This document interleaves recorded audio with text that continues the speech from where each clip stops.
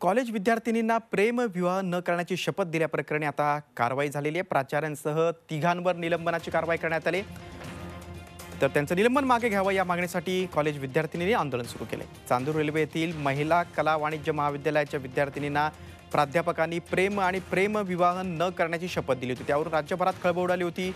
या प्रकरणी संतप्त पडसाद उमटले होते.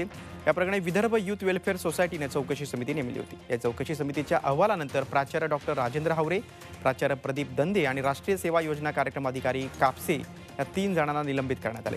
दरम्यान या निलंबनाच्या विरोधात विद्यार्थिनींनी कॉलेजला कुलूप लावून आंदोलन केलं. तीन प्राध्यापकांचं निलंबन मागे घेत नाही तोपर्यंत कॉलेजवर बहिष्कार घालण्याची भूमिका विद्यार्थिनींनी घेतली.